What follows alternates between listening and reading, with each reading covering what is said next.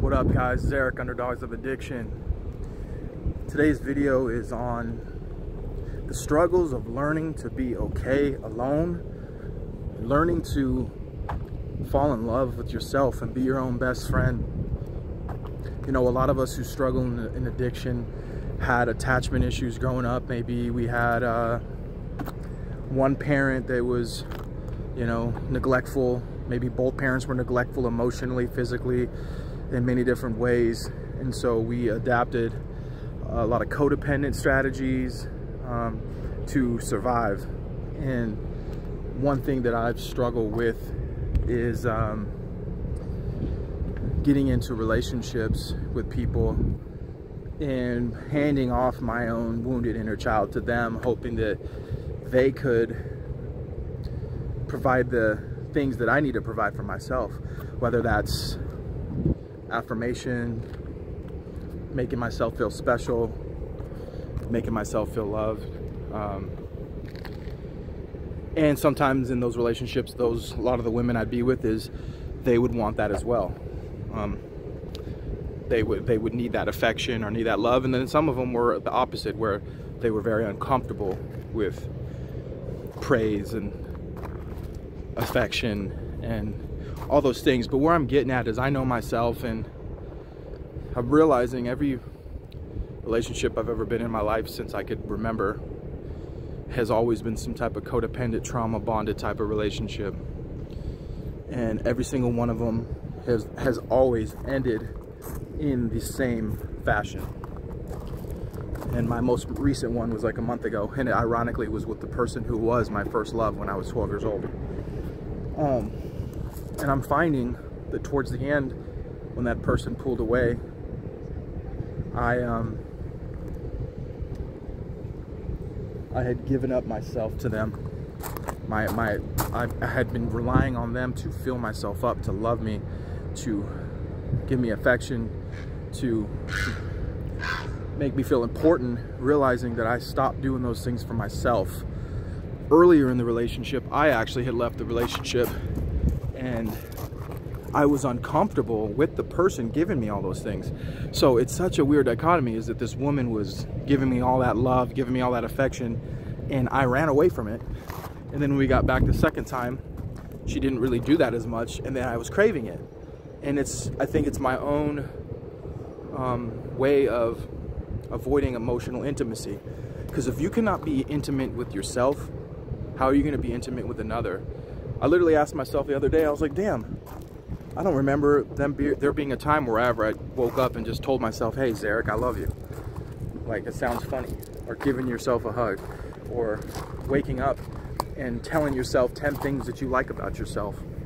Um, and I realized my whole life, whether it was through addiction to relationships, addiction to drugs and alcohol, to success, I was always just trying to fill that void in my inner child.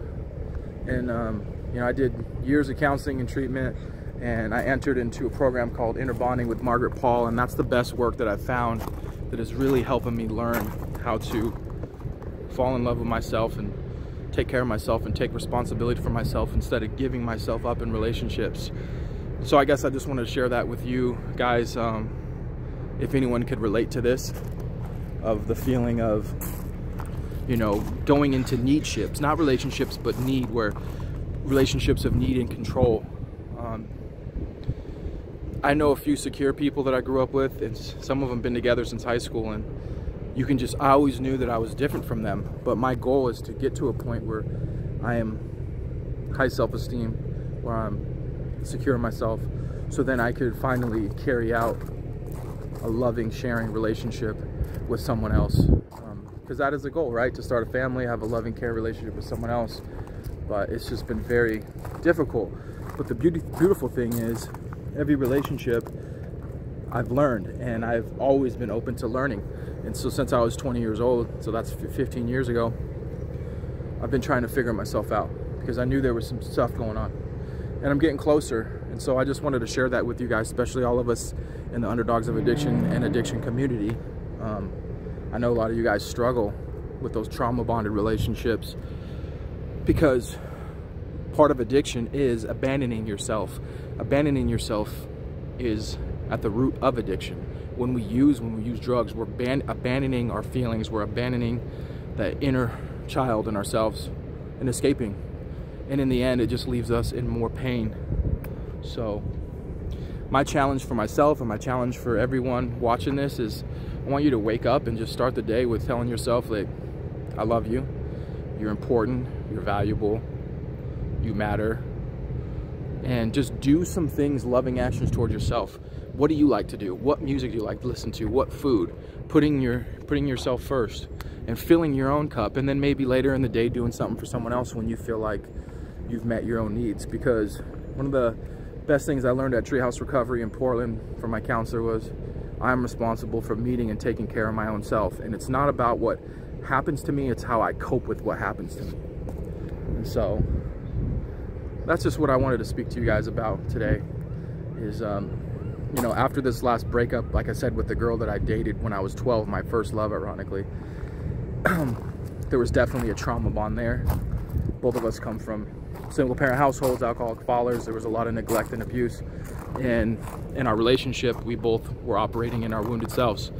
And I have a certain belief system and I'm trying to heal and do things, but this person doesn't really doesn't really think like me. And so it's kind of hard to want to heal and be in a relationship with somebody who is not open to learning and and this person is in denial about multiple addictions, some serious addictions. And so I've had to learn to lovingly disengage. But at first, when we broke up, I was in my wounded self. And you know, guys, how the, when your ego gets into it, you're arguing, fighting, blaming other people. But at the end of the day, we always attract to us people that are our equivalent, whether it's equivalently insecure or equivalently secure, or equivalently healed or unhealed. So I know that this is my journey.